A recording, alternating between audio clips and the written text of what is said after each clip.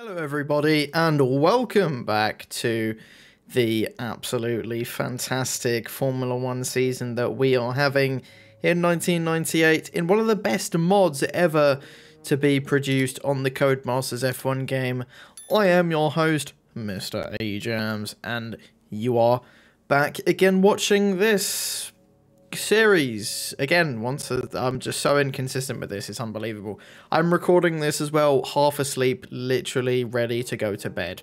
So uh, this should be good. Uh anyway we got the malaysian grand prix coming up next. Uh, i know it says vietnam but ignore that because limitations of the game innit? That's yeah. And as you're going to see throughout this race um and throughout this uh, entire episode to be honest that's basically yeah, just limitations of the mod, and um, you'll, you'll you'll see what I mean later on. But for now, uh, we're just uh, taking some grid penalties because for some reason in this Sauber specifically, our gearbox wear is very very high, uh, which means of course last time out uh, we ended up finishing P8 because of it. So.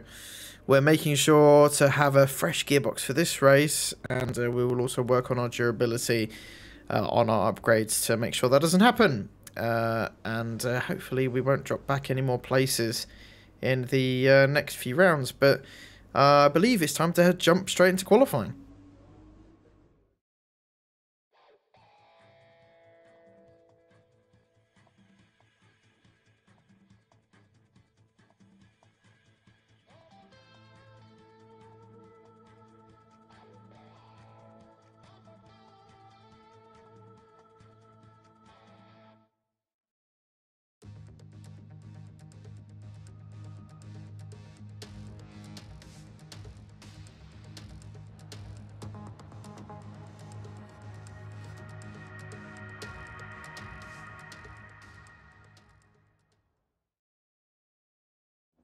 Yeah, as you can see, uh, things can look a bit weird.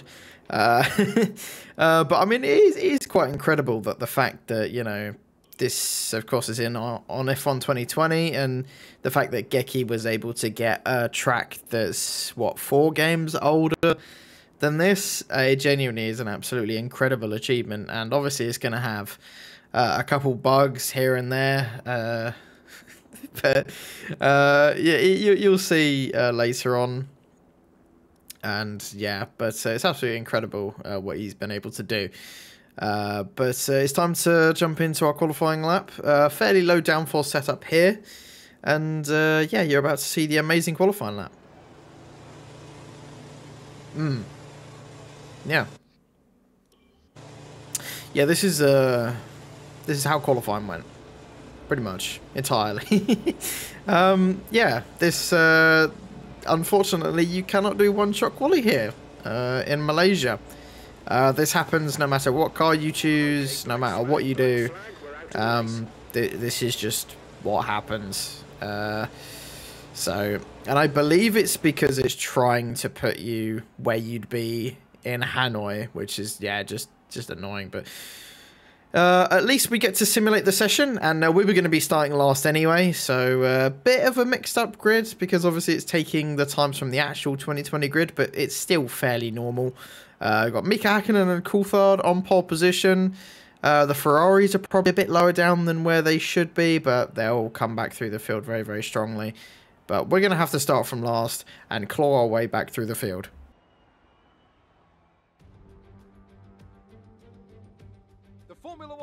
Circus has arrived in Southeast Asia once more as we usher in a new era and get ready to go racing here in Vietnam.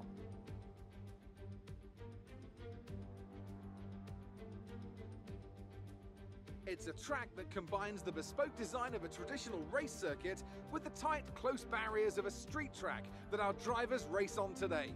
23 corners and a total distance of 3.4 miles. Watch out in particular for overtaking into the braking zone at turn 11. I genuinely would have really liked to have seen the Vietnam Grand Prix, uh, on, on the grid, and I think it could have been a a decent race, excuse me. um, I, I want to know what you guys think as well. I think Vietnam could have been okay. I, I, I definitely think it... Uh, Uh, I think it was corruption that uh, unfortunately stopped it from happening, and COVID, of course. Um, yeah, and uh, one of the forgotten tracks and will forever remain on F1 2020 as the only little bit of memorabilia left. But anyway, enough yip yap, and we're waiting for the five red lights to go out here in Malaysia. It's lights out, and away we go. We get a decent start, but just get way too much wheel spin. And Marc Gené and Nakano both scream off into the distance, and we are just going to have to pick off these drivers one on one as our first target, Gené into turn one, squeezes us all the way onto the grass, giving us absolutely no margin whatsoever. So we just choose to back out of it, but into turn two, we just get up the inside of him, and as you can see, we have overtaken him fairly easily there. And we've made up one place so far, which isn't too bad. And uh, if we can keep up that progress, we'll, uh, we'll do pretty well. There's a couple cars blocking down further up, but luckily no first lap crashes yet. And let's hope this thing continues through this tight and twisty section. These cars do not handle very well through here. It's just understeer heaven as Nakano and I get very, very close. Rosset as well, just uh, getting out of shape, and we go up his inside into this double right-hander, and we gain another couple places. These are going to be easy pickings on these first few laps, as at the end of the first lap as well, we overtake Verstappen into the last corner, and that's uh, Alex Wurz going off into the pit lane. I believe he's missing a front wing. Uh, unfortunate start for the Benetton, but I'm sure he will have another opportunity later on in this race to come back through the field. And uh, just a couple corners later, we then overtake the Arrows of De La Rosa as well. Uh, these three backmarker teams are kind of going to be the easy pickings uh, for these first three laps, and uh, he weirdly slows down there. I'm not quite sure what happened. Uh, Mika Salo as well, our next target into 13th place. And we move up ever closer to the points. And our teammate as well is up into 10th place. Our next target, Magnussen, who's going fairly slowly in his Stewart. We have some good pace around here.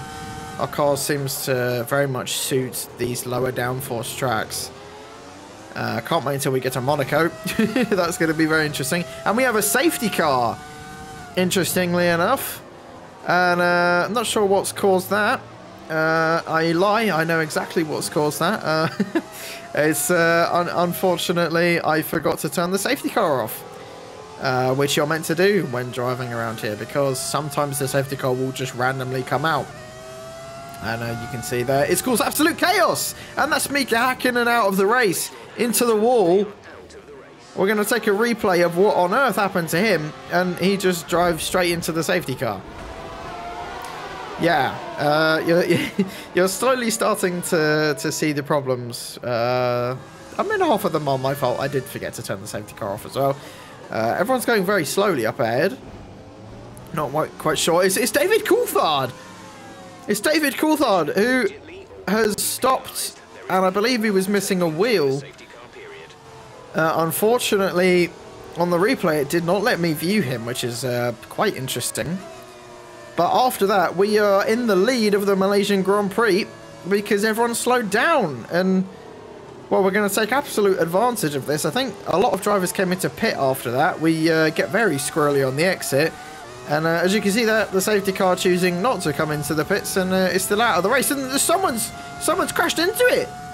Someone has crashed into the safety car and well, let's hope that's not caused a huge pile-up. And well, well, judging by the amount of cars that just retired, it has. Uh, the arrows uh, just smashes straight into the back of him, and you can see that it's just a concertina effect. This is from one of the Minardis, I believe it's Gené, who just about manages to skate through. And, well, rather fortunate, but this is one of the drivers who was unfortunate. I believe this is Ralf Schumacher, who just has absolutely nowhere to go and gets hit up the back. And there's a Benetton out of the race there as well. That's three cars taken out. And yeah, this uh, is turning into a very interesting race. There's another virtual safety car. And I believe that was Eddie Irvine who has had some kind of issue. And this is actually just a mechanical failure. Um, Ferrari reliability really let him, letting him down there and he pulls over to one side of the road and uh, the safety car's ending but one of the Stewarts is out of the race I believe it's Rubens Barrichello it is as again, he's one of the next victims to drive straight into the safety car. And, well, this has been a rather interesting round already, isn't it? Um, another VSC. Again, here we go. Um, again, it just randomly deploys uh, on occasion, and we're going to use this time to come into the pit lane as well. And uh, I had no idea where the pit lane line was, and it was a little bit further up than where I thought it was. And you can see we have an 8 second time penalty as well, and uh, that's because I got one for corner cutting, uh, which is, yeah, fair enough, and I also got another one because someone hit me, and I got a 5 second time penalty, but I didn't bother showing you that because I think that there's more interesting things in this race anyway to to show, uh, and you'll, you'll, you'll see that it, it is just never ending. As we wait for our first five seconds to go, and out we go on a fresh set of hard tyres, and this should be a one stop, but uh, as you'll see later on, uh, it doesn't become a one stop. So yeah, but um, uh, tyre wear not too bad around here. Uh, our car's actually been pretty good on tyre wear. Uh, of course, these cars are really, really horrible to, to get on the power. It's so difficult. And uh, that's uh, one of the uh, Minardis. That's someone else as well. I believe that was one of the Jordans. This is one of the Minardis. That's a Jordan that's crashed. And he just drives straight into him. Not quite sure what was going on there. Uh, there's me going past. Uh, this is one of the Benettons, who I believe ended up crashing into them. And yeah. And uh, there was a Ferrari there. That was Michael Schumacher who's crashed into him as well. And uh, they, you saw at the end of that replay, yeah, uh, one of the arrows decided to smash into the Benetton. That's four. That, that was five cars there involved in one pile-up. And, well, this has just become a bit of a meme race at this point. And that is one of the Williams cars. And that's Jacques Villeneuve, who has been our next victim of ploughing directly into the back of Bernd Mayländer. And uh, I don't think uh, he's going to be too happy about uh, people just smashing into him the entire race. Uh, we picked up some damage as well from one of the pile-ups and uh, we decided to come in and fix it since we are literally a lap ahead of everyone else. So um, we may as well, hey, and just make these final like seven or eight laps uh, just a little bit easier. Uh, and I can promise you that uh, if we do come back here for next season, uh, that I will be sure to turn the safety car off. So that we don't have any problems whatsoever. And um, we can have a proper race. Because obviously this uh, kind of does spoil the championship a little bit. And I guess we can kind of count it out. Uh, we can just not really care that this round ever happened. And just pretend uh, that it didn't happen. Because mostly it's just backmarkers getting points today. Uh, myself, Verstappen, and Magnussen, and Damon Hill are the only cars left in this race. So luckily, the title challenge is not really going to be affected at all. And uh, well, there's another car going out, and that is uh, Jan Magnussen, unfortunately, who's then yeah just smashed into the safety car again. it's it's hard to get hyped up about it when I've seen it, you know, like 20 times uh, over and over again. Uh, but anyway, we're the final corner to take a uh, asterisk victory, really. And uh, of course, as you can see, I got really bored and just decided to make my uh, celebrations uh, premature before crossing the line and uh, just just getting close to the finish line, and there we go. We've we've won the Malaysian Grand Prix, and uh, well, Jeff is a lot more happy than I am uh, at that result. um, driver of the day, me, unsurprisingly, last to first, but yeah, interesting race. Congratulations to Alfa Romeo then for their excellent win today. Tell me, Ant, how did they manage to achieve this win? It was a question of right place, right time today. We were looking at an entirely different race before the safety car came out, but they were able to take full advantage after the field had been bunched up. Looks like they're on their way out to the podium now, and what a result this is! And a popular one with the crowd as well. Great stuff to see the Alfa Romeo team on top here today.